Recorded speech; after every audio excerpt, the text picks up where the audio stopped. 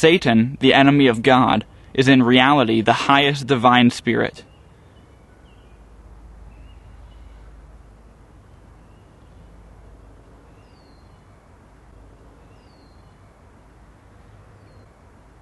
Hey guys, Steve here. In this video, we're going to be looking at how the entire New Age movement is actually satanic and Luciferian at its roots. And before we take a look at some research, I just want to make a few things really clear.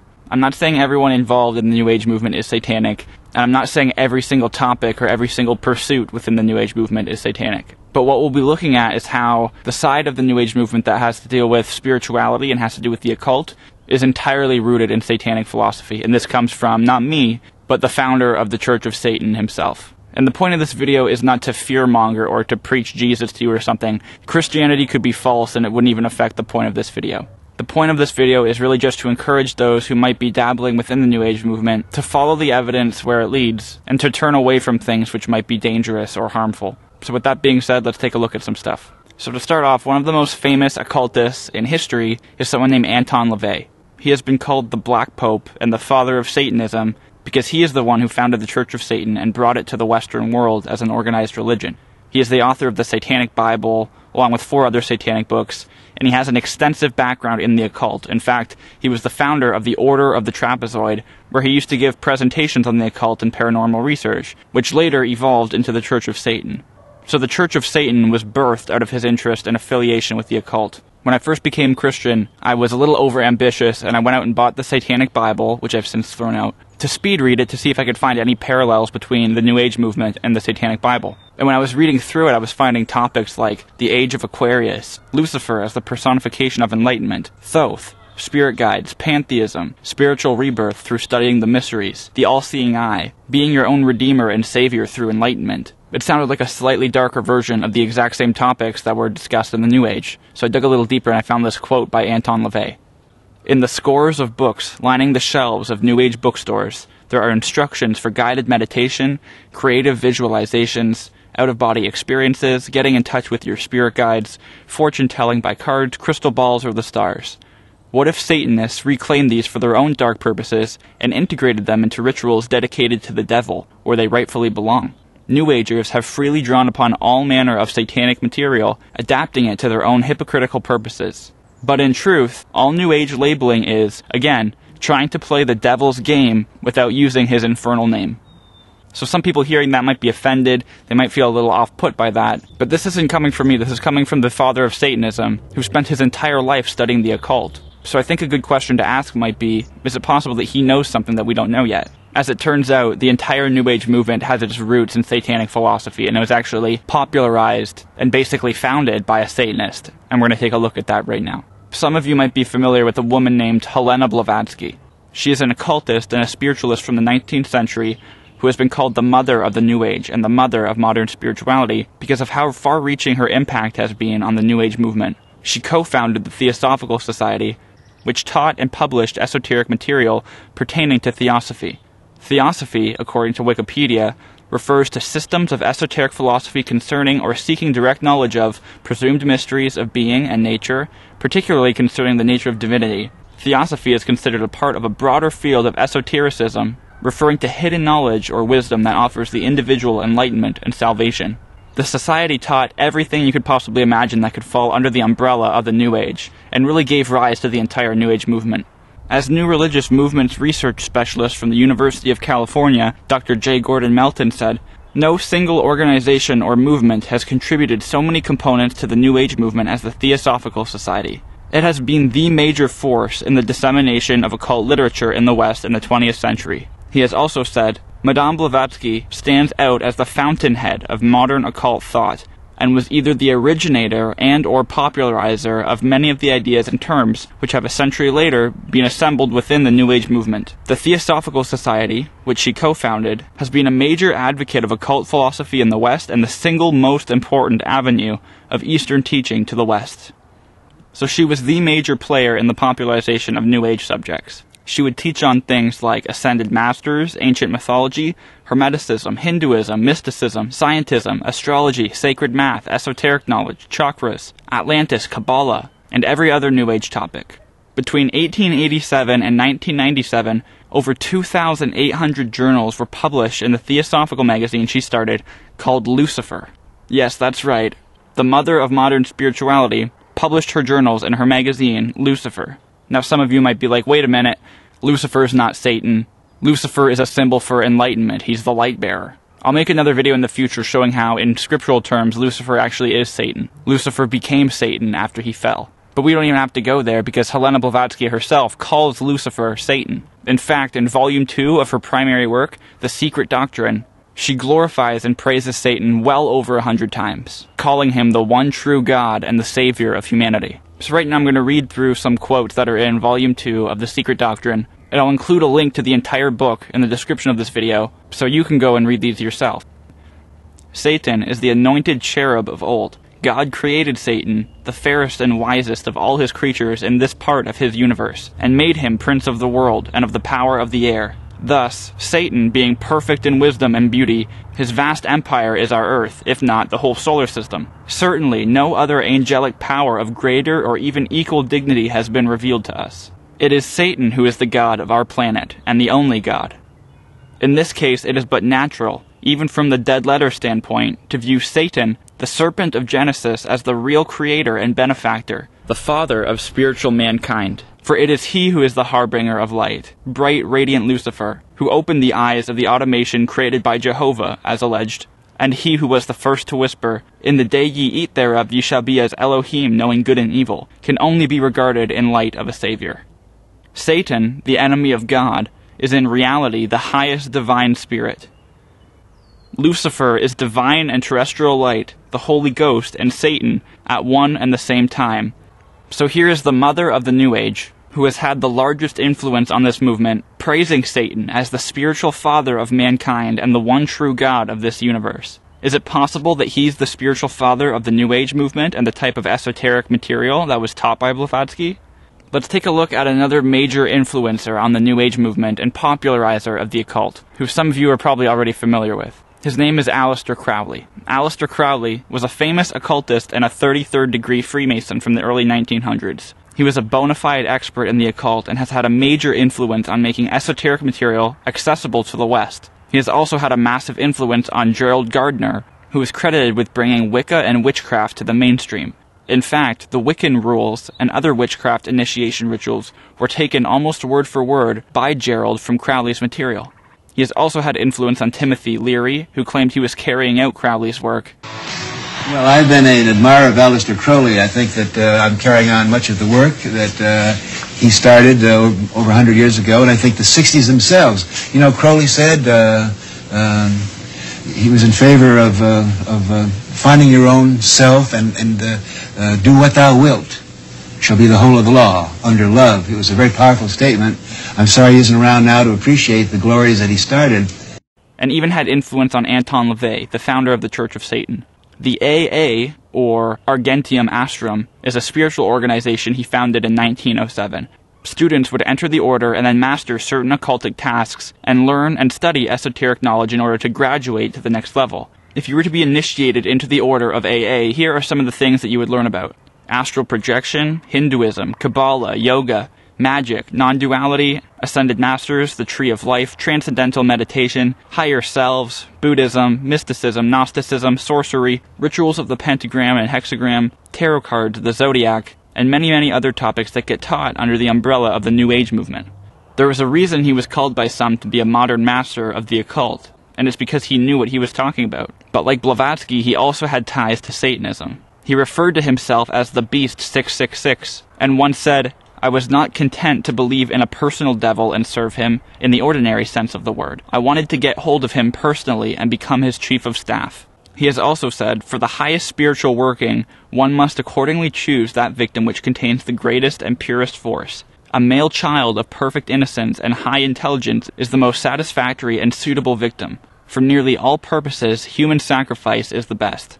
He has also said, it is, however, always easy to call up the demons, for they are always calling you, and you only have to step down to their level and fraternize them. They will then tear you in pieces at their leisure. Nevertheless, every magician must firmly extend his empire to the depth of hell. He has also said, This serpent, Satan, is not the enemy of man, but he who made gods of our race, knowing good and evil. He bade know thyself and taught initiation.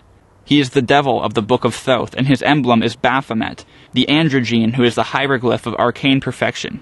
So here's another major player in the New Age movement, calling Satan the god of our race. After being involved in the occult for over half a century and dedicating his entire life to magic, the spiritual mysteries, and the occult, he left this world a broke drug addict with the final words, I am perplexed. Satan, get out. Others say his last words were, I am perplexed, along with, sometimes I hate myself. With all due respect, do we really think that he was just a few more spiritual mysteries or a few more occult topics away from leaving this world in peace? Maybe if he hadn't left the Hermetic Order of the Golden Dawn so soon? Or if he would have studied Gnosticism a little more diligently? He's the most famous occultist who ever lived, had a massive influence on the New Age movement, and left this world totally confused, hating himself, and may or may not have had Satan breathing over his shoulder. So why are the three most famous occultists of all time all mesmerized with Satan? Is this just a coincidence, or is it possible that Satanism and the occult actually go hand in hand? What if Helena Blavatsky was right, and what if Anton LaVey was right when he said that New Age ideas and themes really belong attached to satanic and Luciferian philosophy? To take a dive a little bit deeper, there's a website called Joy of Satan Ministries. It's a website dedicated to spiritual Satanism, and on their website you can learn about the following topics in depth astrology, auras, magic, self hypnosis, incense, pendulums, runes, telekinesis, brainwaves, clairvoyance, past lives, chanting, the pineal gland, the chakras, bioelectric technology, the astral plane, spells, the Kundalini serpent, and trance, and you can learn all of this stuff from their Satanic Witchcraft Index, their information about the human mind, and their index of satanic meditations. Why would the Joy of Satan ministries teach these things unless they were consistent with spiritual Satanism? The ideas and themes of the New Age are the exact same ideas taught in spiritual Satanism, and that should be concerning to some of us. And these are the same ideas that were taught by Helena Blavatsky and Aleister Crowley, advocated along a satanic philosophy and are the very ideas that Anton LaVey accused the New Age of stealing from the devil. Now, somebody might say, okay, maybe some famous occultist from the past had some ties to Luciferian philosophy or something, but we don't see that going on today anymore. The New Age has completely disconnected from any kind of ties to Luciferian or Satanic philosophy, and they have nothing in common anymore. Well, take a look at this. Mars looked very much like Earth a little less than a million years ago. It was beautiful. It had oceans and water and trees that were just fantastic but something happened to them, and it has to do with something called the Lucifer experiment. From the very beginning of creation, everything is simply an experiment. Creation itself was just consciousness creating and inhabiting itself in that creation. There is no divine plan. Spirit can do whatever it wants. Having said that, if spirit decides to cut itself off from the rest of consciousness and create a separate reality on its own, it can do that too. This is called the Lucifer experiment. Because spirit is God, it can do this. There is nothing wrong with that. We've kind of been led to believe that Lucifer is evil and the devil. This just isn't true. Lucifer is just another means of perceiving the reality. It is not a unity perception of oneness, but rather a duality perception of two-ness. There's a flower of life pattern for Lucifer as well, but that's a big topic for another time. So here is Spirit Science, the largest New Age website in the world, the largest New Age YouTube channel in the world, a website I used to write for, showing signs of Luciferian philosophy that Helena Blavatsky advocated. And there's an article on the Spirit Science website that talks about this a little bit more. The Lucifer experiment, if you recall from the Human History movie, was about a particular consciousness connected to the all who didn't want to play the same boring song. He wanted to be his own rock star. And so he split himself off from God consciousness and did his own thing, creating chaos and destruction in his wake. Now, the reason this is showing up in the work of spirit science is because most of Jordan's material is based off of the material of Drunvalo Melchizedek, who wrote The Ancient Secret of the Flower of Life, Volumes 1 and 2, most of which the Spirit Science series is based off of. So, the largest New Age website and the largest New Age YouTube channel in the world right now is based off of material that, as we're about to see, praises Lucifer in the exact same way Helena Blavatsky did. And I'm going to read some quotes right now from The Flower of Life, Volume 2, and I'll include a link to that book in the description too, so you can double check. Lucifer did not create free will, but it was through his actions and decisions that free will became a reality. It was God who created Lucifer so that free will would exist. I am in no way attempting to protect Lucifer or sanction his acts. I'm simply giving a new slash old perspective on what is behind what Lucifer is doing in the universe, that, once understood, allows the possibility of transcending good and evil and entering into pure oneness with God. So this is basically saying that if you understand Lucifer's role in the universe, you can transcend the duality of good and evil, transcend the duality of righteousness and sin, and you can skip past Jesus and enter into a holy union with God if only you understand Lucifer's role in the universe. So evidently, with God's blessing, since he created him, Lucifer started on a great experiment to see what could be learned by creating in a different way from how God slash spirit had made the original creation. So Lucifer, according to this book, is also a creator god, just like Helena Blavatsky said.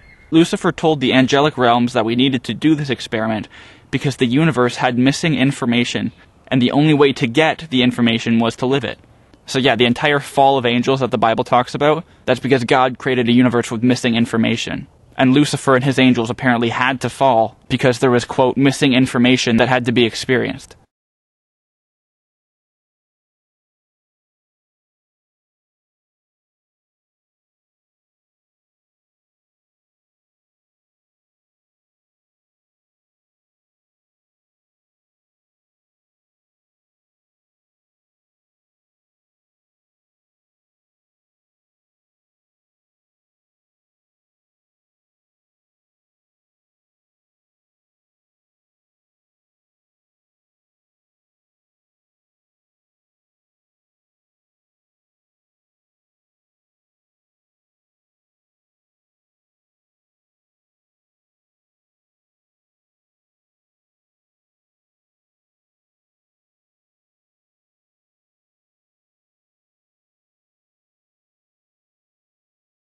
So this Luciferian philosophy is right at the heart of the New Age movement and was at the heart of the New Age movement from the very beginning. So we have looked at how the father of the Church of Satan accused the New Age of stealing from Satan. We have seen the most influential man and woman on the New Age movement praise Satan and teach esoteric philosophy alongside Luciferian doctrine. We have seen how spiritual Satanists use New Age practices and ideas in their own devotions to Satan, and we have seen how Lucifer has even made his way into the spirit science series. And this, of course, begs the question, and this is the whole point of the video right here. Is it possible that the material taught alongside Luciferian philosophy is part of the same deception? Is it not likely that any material that advocates Lucifer or Satan in a positive light would be filled with lies and deception? So I think this should really make us ask the question, you know, is it possible that Anton LaVey was right? Is it possible that all of these lifetime occultists who started the entire New Age movement know something that we don't? Is it possible that maybe New Agers, like I used to be, were simply cherry picking from Luciferian doctrine and just leaving his name out? Well, stick around because we're going to look at each individual topic in the New Age on an in depth basis to show that this is exactly what's happening. Because any subject or idea that gets consistently taught along a satanic or Luciferian philosophy should be questioned and should even be doubted. And so this is not about me trying to guilt trip people or fearmonger or anything like this. It's just to present the possibility that maybe some people have followed a trail of breadcrumbs down the wrong path. And I'm not trying to condemn anybody or anything like this. I just want to encourage people into the direction of truth and away from stuff that's harmful or dangerous.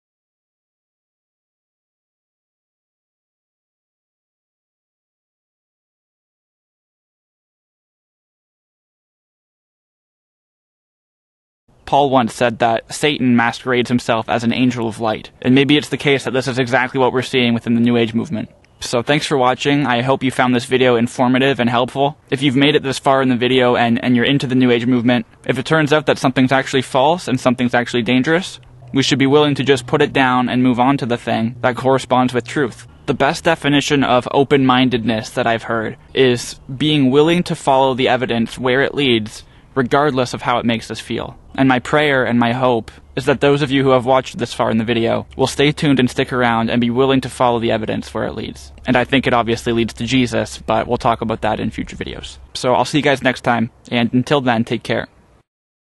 My journey down the rabbit hole really started when I was in high school, when I first saw an episode of Ancient Aliens on the History Channel. And for those of you who don't know what that is, it's a television show that presents all the evidence that ancient man was visited in the past by extraterrestrials who they thought were, you know, gods descending down from the sky. So this completely blew my mind and called into question, you know, the biblical worldview that I had been raised with.